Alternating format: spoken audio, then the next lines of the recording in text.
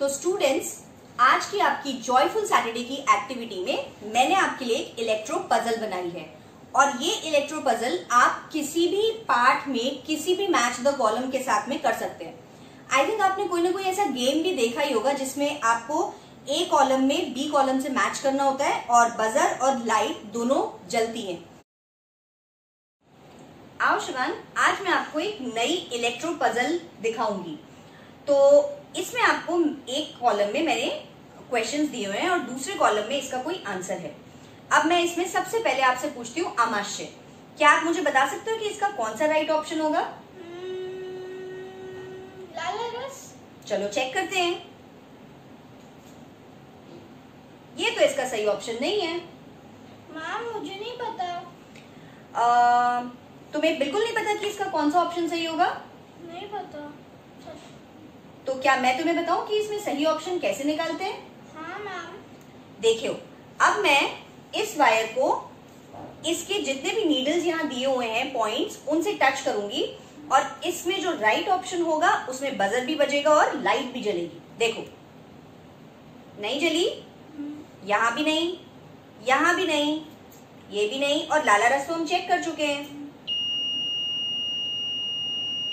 देखा? Yes, light जली और बजर भी जला ना? यस मैम क्या ये अच्छा लगा आपको? यस मैम तो अब मैं आपको बताती हूँ कि हम एक इलेक्ट्रो बजल कैसे बना सकते हैं। तो ये मैंने आपके लिए खास बनाई है और ये कैसे बनाते हैं ये मैं आपको आज बताती हूँ। मैंने एक वुडन बोर्ड ले लिया था और ड्रिल करके उसके अंदर स्क्रूज को फिट कर दिया था आ, बिल्कुल उनके डिस्टेंस पे। और उसके बाद यहाँ पर भी दो होल्स किए हुए थे। उसके बाद मैंने लिए एलईडी बल्ब्स ये देखिए।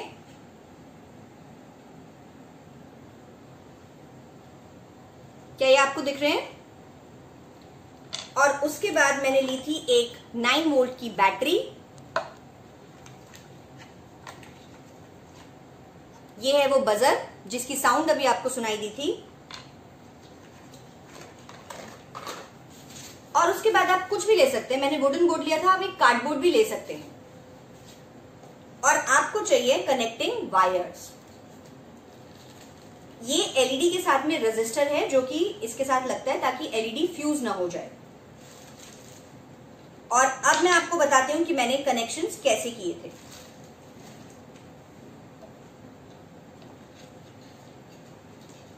ये देखिए, मैंने अपनी मर्ज़ी से ये किया कि फ़र्स्ट वाले स्क्रू को सिक्स वाले स्क्रू से कनेक्ट कर दिया।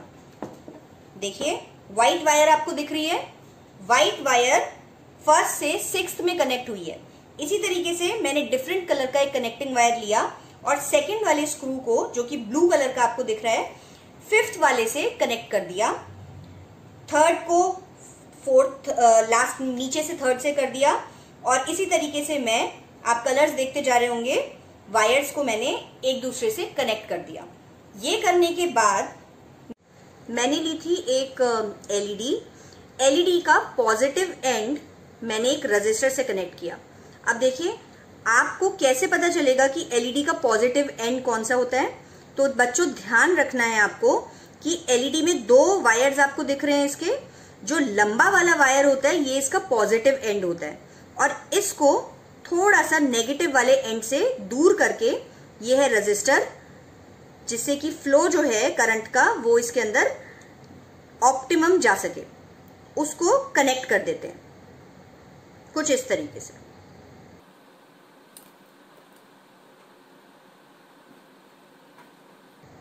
और इसको सील कर देना चाहिए एक कवर से। और उसके बाद, अब मैंने तो अपने कनेक्टिंग वायर सारे इसके अंदर यूज़ कर लिए हैं तो मेरे पास कोई स्पेयर नहीं है। मगर, अब यहाँ से देखिए आप, इस, जैसे मैंने आपको दिखाया, इस रजिस्टर के साथ नीचे मैंने एक रेड वायर आपको दिख रही है कनेक्टिंग वायर इसको कनेक्ट कर दिया। ये था इसका पॉजिटिव एंड इसी तरीके से नेगेटिव एंड जो एलईडी का था, वो भी मैंने एक कनेक्टिंग वायर से कनेक्ट कर दिया है। अब मैं यहाँ से दिखाती हूँ आपको, इसी तरीके से हम बजर के साथ करेंगे। बजर के पॉजिटिव एंड को एक कनेक्टिंग वायर से कनेक्ट कर देंगे और बजर के नेगेटिव एंड को भी एक कनेक्टिंग वायर से कनेक्ट कर देंगे। उसके बाद हमें क्या करना है? आपको ध्यान देना है। पॉजिटिव एंड जो बैटरी का होता है, देखिए इसमें बने हुए होते हैं साइंस भी पॉजिटिव और नेगेटिव तो पॉजिटिव एंड जो बैटरी का है बजर और एलईडी के पॉजिटिव वायर्स को आप इस तरीके से बैटरी के पॉजिटिव एंड से एक साथ कनेक्ट कर देंगे। बैटरी का जो नेगेटिव वायर है नेगेटिव एंड ये वाला, मैंने इस पे एक बैटरी का कवर भी लगा दिया था। तो जो नेगेटिव एंड है, हम उसको लूज छोड़ देंगे कनेक्टिंग वायर से कनेक्ट करके। और अब बजर और एलईडी का नेगेटिव एंड हमने एक वायर में ही कनेक्ट कर दिया है। अब ये सब खेल करने के बाद आप क्या करेंगे? ये आपके दोनों नेगेटिव एंड्स हैं, जो लूज हैं। ये असेंबली करने के बाद नेगेटिव एंड वाले दोनों कनेक्टिंग वायर्स के एंड को जब आप इन स्क्रू से टच करेंगे तो जो भी आपका राइट ऑप्शन है, जैसे आमाशय का राइट ऑप्शन यहाँ पर है हाइड्रोक्लोरिक अमल आप कोई भी स्लिप लगा सकते हैं, ठीक है? और आप इसको हर पार्ट के साथ में चेंज भी कर सकते हैं। और ये एक आपके लिए इनोवेटिव गेम भी है।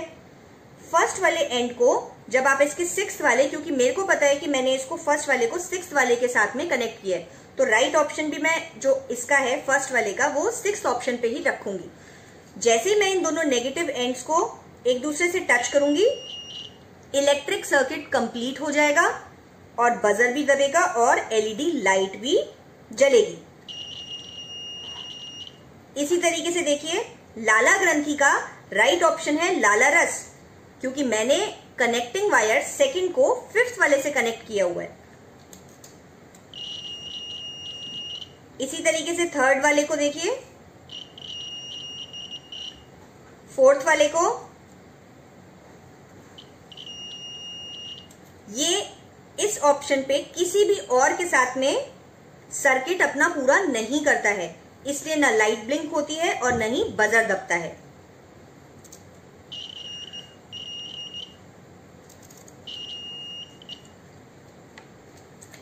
है ना ये इनोवेटिव गेम अब बताइए, क्या आप मेरे साथ ऐसी और भी इलेक्ट्रो पजल्स बनाएँगे? क्या आपको अच्छा लगा ये? मुझे कमेंट्स में ज़रूर शेयर करिएगा कि आपको मेरी बनाई हुई इलेक्ट्रो पजल कैसी लगी। Thank you